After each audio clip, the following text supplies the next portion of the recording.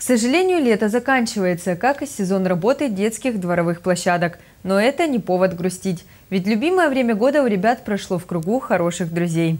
Тому подтверждение – малые Олимпийские игры, торжественное закрытие которых состоялось на минувшей неделе.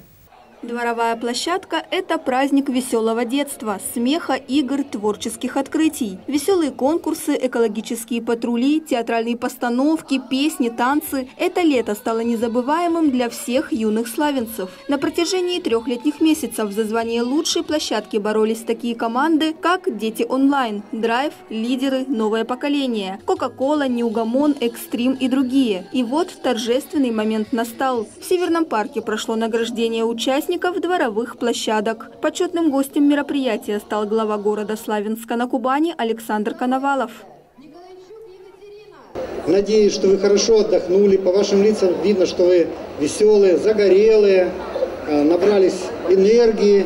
И новый учебный год у вас будет успешным, вы добьетесь тех высот и тех вершин, которые вы поставите себе задачу. Но администрация города постаралась в этом году вам для вас открыли 16 площадок, на которых вы, я вижу, с удовольствием отдыхали, потому что у вас настроение хорошее. Более 2000 деток у нас отдохнули на этой площадке. Уверен, что э, начало учебного года, да и весь учебный год будущий вы встретите с хорошими отметками.